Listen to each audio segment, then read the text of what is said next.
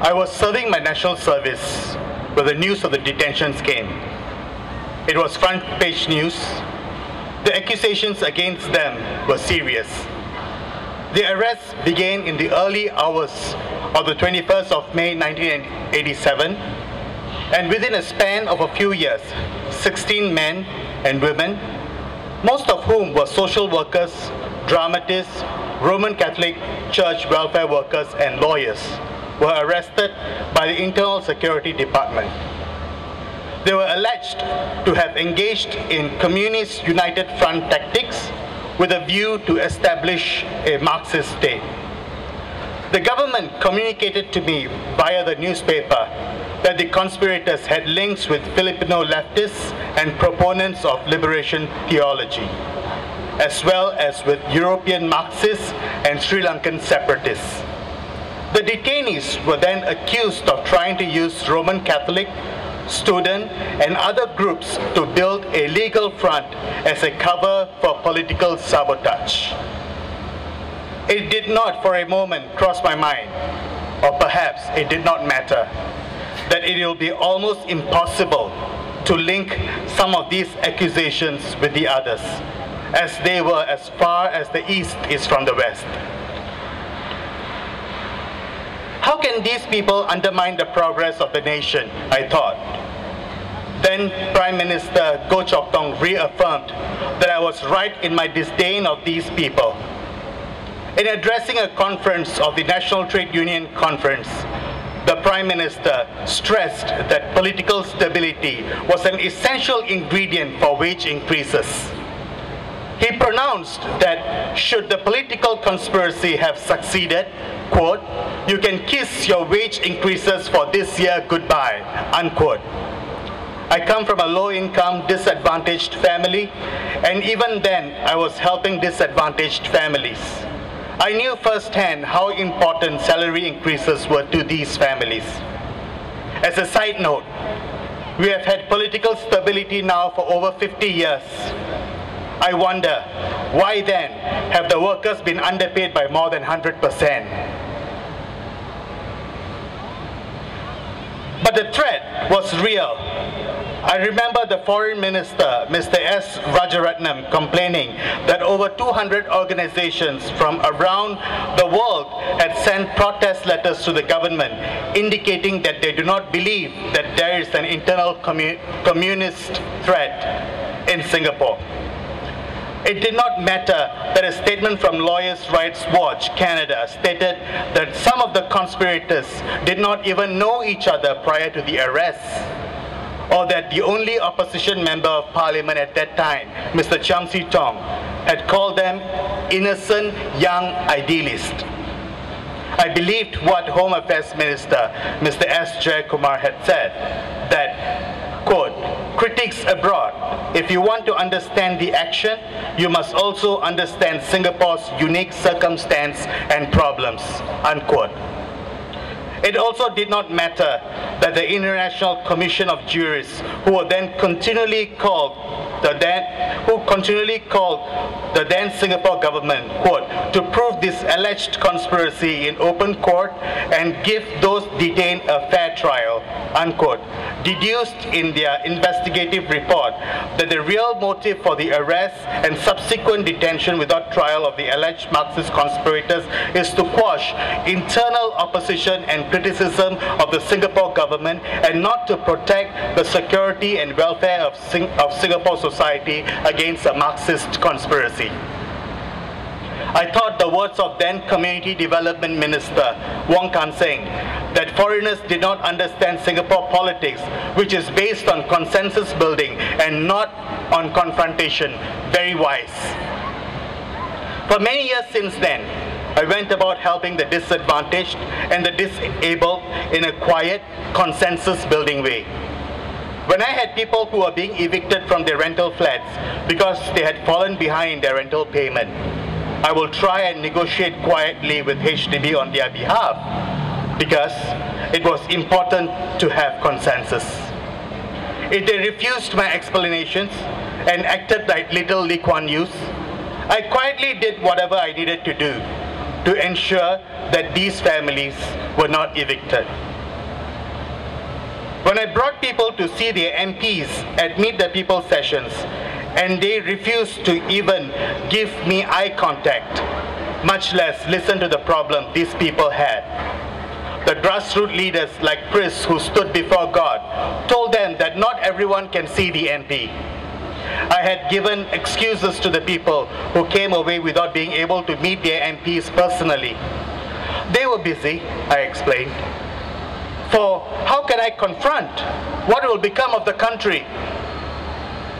Then I went away to the USA. There I witnessed how the community workers advocated for those that they were caring for. Not always in a passive manner, but also where necessary through confrontation and conflict. It took me a long time to accept that. But I was seeing with my own eyes that problems were being solved, and more importantly, that people who were advocating in this manner were not anarchists or wanting to bring the state down. In fact, they loved the community they were in. I went through a process of unlearning and relearning that expressing sympathy, empathizing, and speaking up for what you believe in need not only be done in a quiet, consensus-seeking manner. Today, I still help families and persons that are disadvantaged. Sometimes I do it in a quiet, consensus-seeking manner, but there are other times where the problems get solved only with confrontation.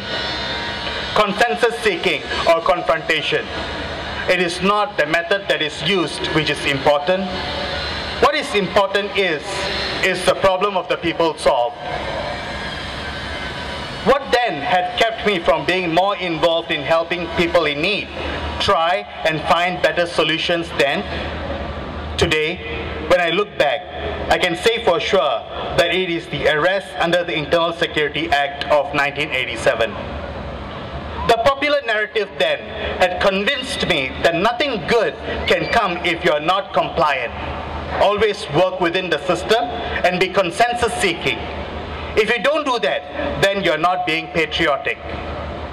Even then, for a long time after I had accepted that there was no Marxist conspiracy, I refused to believe that, that, that we don't need the Internal Security Act or ISA. We needed to combat the terrorists, I reasoned. But the more I came face to face with the facts, the more I read the stories of the detainees, the more I interacted with the likes of Tan Tee Seng and Teo Soh Lung, the more I began to see myself in them. I am convinced otherwise now. If I had done what I am doing today in the mid-80s, I would have surely been detained as well. So does that mean that since I have not been detained under this draconian act today, we can let this legislation be? No. Because as President Dr. Tony Tan rightly said, I quote, the Internal Security Act is a very blunt instrument, unquote.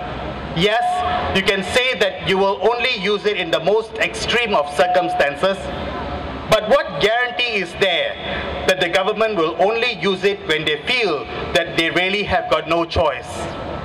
And of course, I need not elaborate why feeling is very subjective. Even paranoia is a feeling. If it can be used on community workers who are deemed to be non-consensus speaking, confrontational and supportive of alternative voices in parliament. It can be used today on people that seek a more gracious, egalitarian society, that are deemed confrontational and inclined towards the opposition. Lee Kuan Yew said in his book, Lee Kuan Yew, The Man and His Ideas, that, quote, Everybody knows that in my bag I have a hatchet, and a very sharp one. You take me on, I take my hatchet, we meet in the cul-de-sac, unquote. I wonder if the hatchet in his bag is the ISA.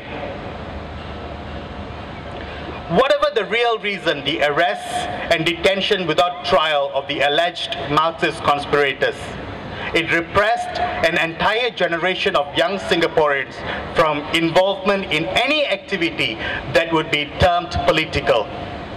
People of my generation, people who are now in their very, in their very late 30s and 40s.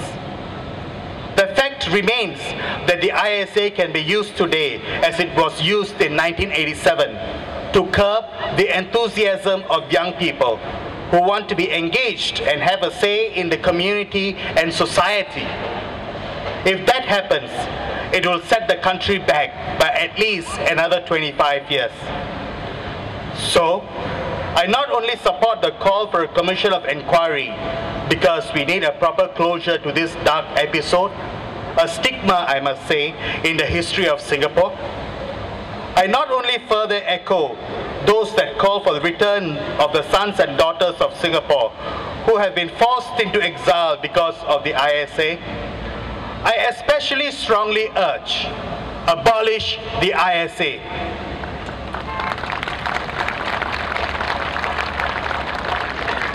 If terrorism is the concern, then legislate terrorism-specific laws.